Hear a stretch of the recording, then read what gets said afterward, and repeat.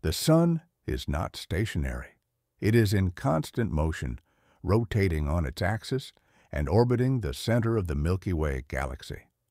The Sun spins on its own axis, a motion first observed by watching sunspots move across its surface.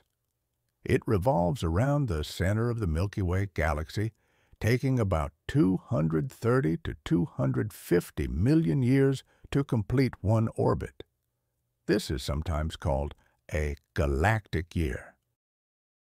The Sun and all its planets orbit a common center of mass called the barycenter.